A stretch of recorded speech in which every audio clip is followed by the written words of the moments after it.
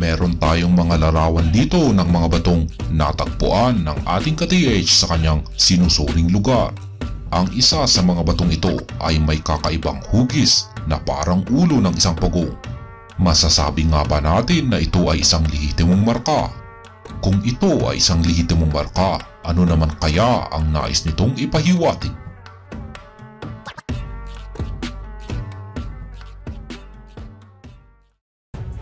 Ang tagumpay ng isang treasure hunter sa pagkukay sa mga nakabuong kayamanan ni Yamashita ay nakasalalay ito sa tamang pagbasa ng mga markang iniwan ng mga sundalong hapon.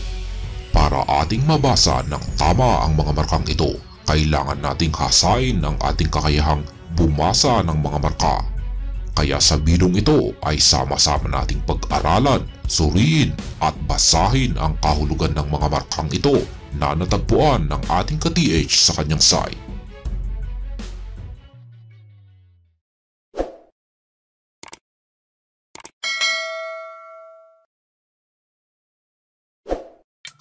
Sa larawan na ito ay ating nakikita ang isang malaking bato na may kakaibang hugis.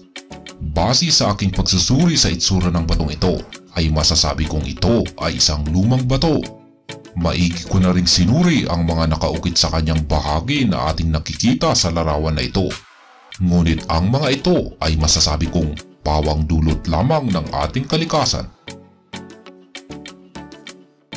Ang tanging nakakaagaw ng ating pansin dito ay ang hugis ng lumang bato na ito. Base sa aking sariling pananaw, ito ay isang ulo ng isang pagong. Alam naman nating lahat na pagdating sa mga pagong na marka, ang ulo nito ang siyang nagsisilbing pinaka-pointer nito o ang nagtuturo sa tamang direksyon kung saan nakabaon ang deposito. Pero nang aking pinagmasdan na mabuti ang ating marka na ito, napansin ko na sadyang parang naputol ito. Para sa mga baguhan at hindi pa nakakaalam, kapag isang batong hugis ulo na parang sadyang pinutol o pinugutan ang ulo nito, meron itong taliwas na kahulugan. Sapagkat ang markang putol na ulo ng pagong kung saan ay wala itong katawan ay nagpapahiwatig ito ng maling direksyon kaya kung hinukay mo ito, sadyang wala ka talagang madadatnan. Ang pagong na markang nagtuturo ng tamang direksyon ay dapat laging meron itong katawan. Kung wala itong mga paa at buntot o kulang ang mga ito, ayos lamang ito basta ang importante ay hindi putol ang kanyang ulo. Ano ang gagawin natin kung ang markang ating natagpuan ay putol na ulo ng pagong tulad na lamang ng markang ito na nadatna ng ating ka-TH sa kanyang sinusuring lugar. Dahil sa isa lamang itong decoy na marka o isang uri ng markang mapanlin lang na karaniwang ginamit ng mga sundalong hapon, nasa paligid lamang nito ang tunay na kasunod na markang ating hinahanap kaya sa madaling salita ay kailangan lamang nating ipagpatuloy ang pagsuri at pagkalap sa kasunod na marka sa paligid. Sa larawan naman na ito ay nakikita ulit natin ang isang malaking bato. Ang kanyang bahagi na ito ay patag at mapapansin natin na marami itong malalalim na pagkakaukit. Pero base sa aking pagsusuri sa mga nakaukit na ito masasabi kong ang pagkakaukit ng mga ito ay parang sapalaran lamang.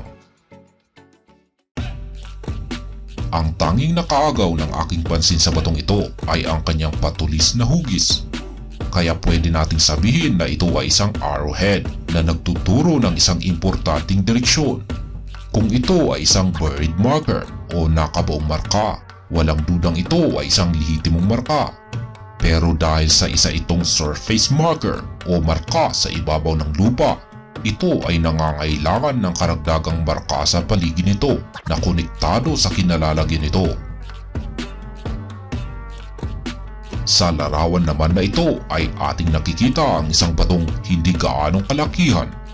Ang napansin ng ating ka-DH dito ay ang nakaukit na mga simbolo sa kanyang bahagi na ito Sadyang ang kapansin-pansin dito ay ang nakaukit na ito na parang isang paa ng ibon sapagkat meron lamang itong tatlong mga daliri. Isa itong markang nagpapahiwatig ng kahulugang Trail to Treasure na ang ibig sabihin ay isa itong marka na nagpapahiwatig na tama ang direksyon na ating tinahak. Meron na rin itong kasamang butas na siyang sumasagisag sa depositong ating hinahanap sa lugar. Ang linya naman na ito sa ibaba ang siyang sumasagisag sa ibabaw ng lupa. Sa aking pag-uulit, ang batong hugis ulo ng pagong na parang pugot ay isa itong decoy marker o mapanlin lang na uri ng marka. Kaya dapat natin itong iwasan at hanapin ang tunay na kasunod na marka sa paligid.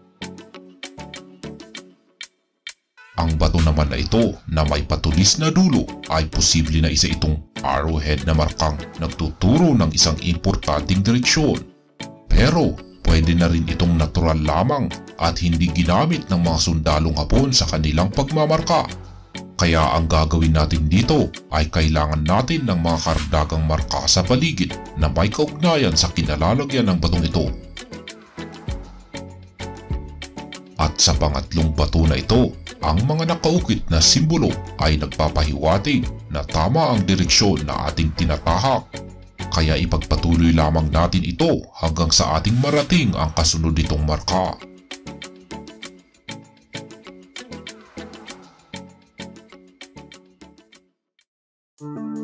Maraming nagsasabi na ang pagbasa sa mga markang iniwan ng mga sundalong hapon ay sadyang napakakomplikado.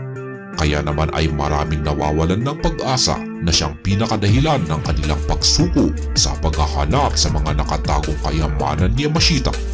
Pero pagdating sa mga taong tunay na may alam, ang pagbabasa ng mga markang iniwan ng mga sundalong hapon ay hindi gaano itong komplikado kaya ipagpatuloy mo lamang ang pagkalap ng mga kaalaman at paghasa sa iyong kakayahang bumasa ng mga marka. Hindi magtatagal ang iyong kakayahan na ito ang siyang magiging susi sa iyong pinakauna at sunod-sunod na tagumpay. At hanggang dito na lamang tayo sa bidong ito. Ako si Elmo Zuglor na nagsasabing tayong mga treasure hunters ay hindi marunong sumuko sa paghahanap sa mga nakatagong kayamanan ni Yamashita.